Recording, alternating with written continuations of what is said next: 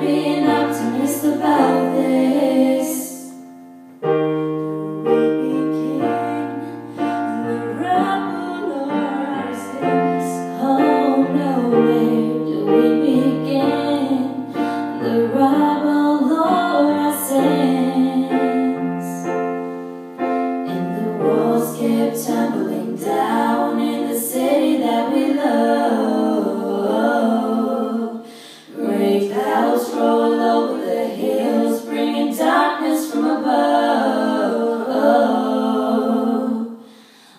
But if you close your eyes Does it almost feel like?